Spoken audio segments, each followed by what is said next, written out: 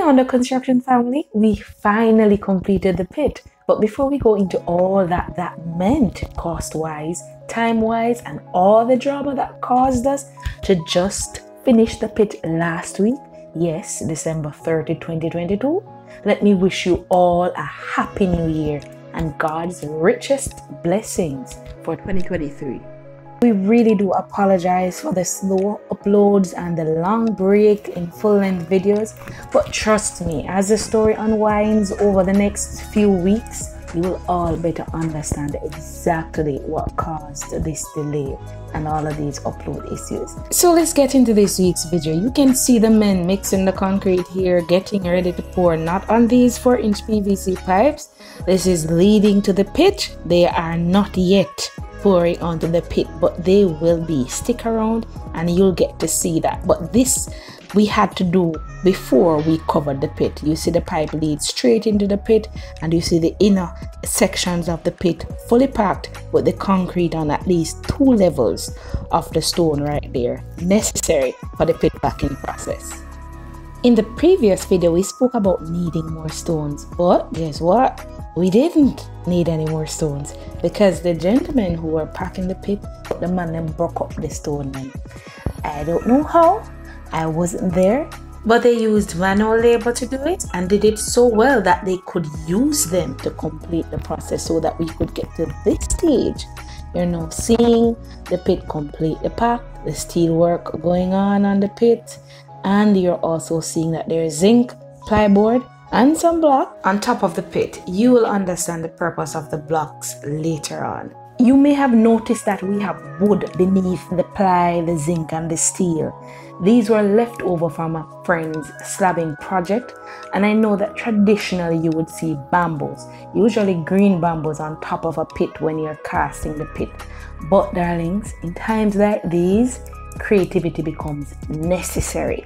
And the mason we used for this pit project specifically, he was comfortable using the wood, and so were we.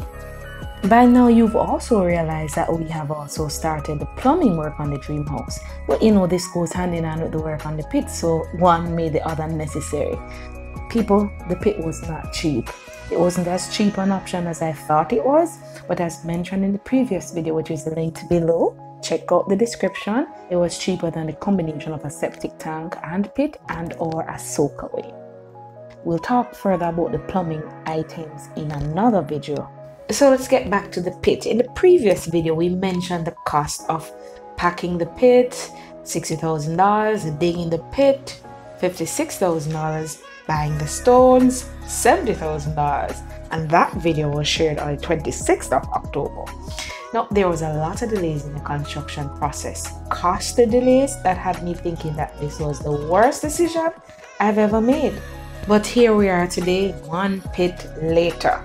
The pit was placed on the back burner though, while we focused on rebuilding financially and otherwise. Listen, there's so much more to this story than we can even speak of on this YouTube channel, but as much as we can say, we will say here to ensure that nobody else has to go through what we had to deal with for about two months.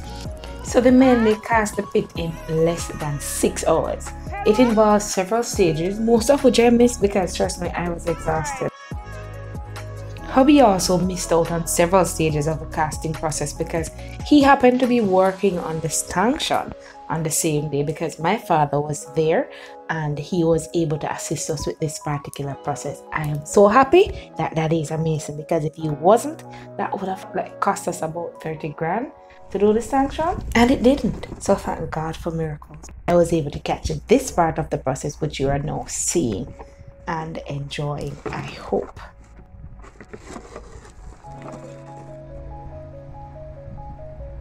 It cost us 15,000 Jamaican dollars to cast the pit, and that process included steel work, stick work, concrete work, all of which you saw earlier.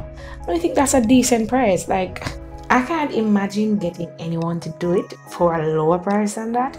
If you do know anyone who would charge less than that, make up yourself. Let us know in the comments below if you think it was a reasonable cost.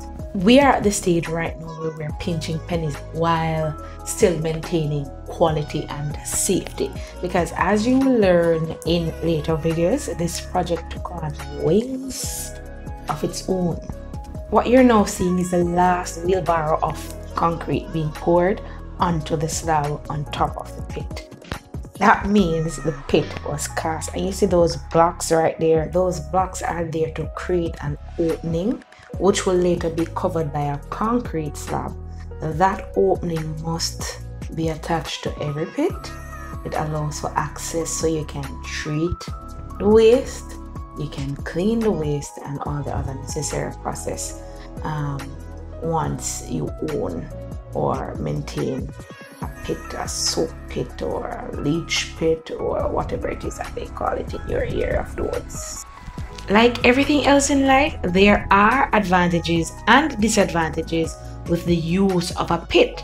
Like the pit, it's it might be expensive because you don't have the money to just throw like that, but generally it's not the most expensive method to deal with waste disposal and, and, and treatment.